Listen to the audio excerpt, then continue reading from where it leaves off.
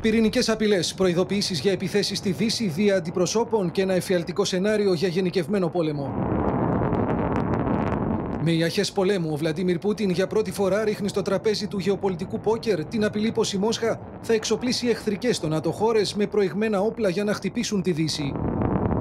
то почему у нас нет права поставлять наше оружие такого же класса в те регионы мира, где будут наноситься удары по чувствительным объектам тех стран, которые делают это в отношении России?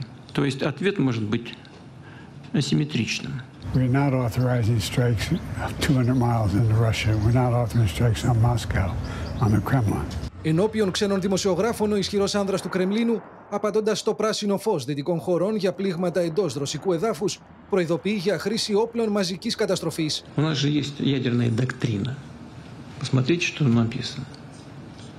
Если чьи-то действия будут угрожать нашему суверенитету территориальной целостности, мы считаем для себя возможным использовать все имеющиеся в нашем распоряжении средства. Allies are providing uh, support to Ukraine in different ways. NATO has uh, no plans to deploy uh, forces uh, to, uh, to uh, Ukraine.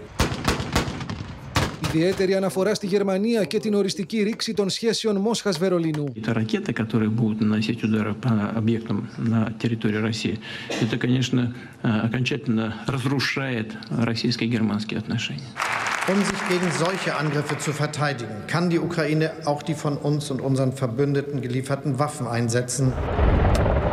Απαντώντα τον Εμμανουέλ Μακρόν και την πρόθεσή του για αποστολή δυτικών εκπαιδευτών στην Ουκρανία, ο Ρώσος πρόεδρος δηλώνει πως ήδη βρίσκονται στα πεδία των μαχών και πέφτουν νεκροί. Э, С точки зрения наличия советников, инструкторов, э, да, то здесь новизны никакой нет, они присутствуют на территории Украины.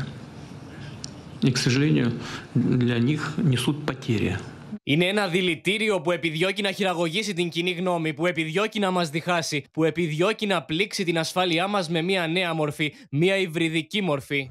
Το Κρεμλίνο αρνείται πως επιδιώκει να ανασυστήσει τη χαμένη αυτοκρατορία. Η Μόσχα ωστόσο προχώρησε στην προσάρτηση πέντε ουκρανικών περιφερειών που το Κρεμλίνο θεωρεί ως ιστορική κληρονομιά της Ρωσίας.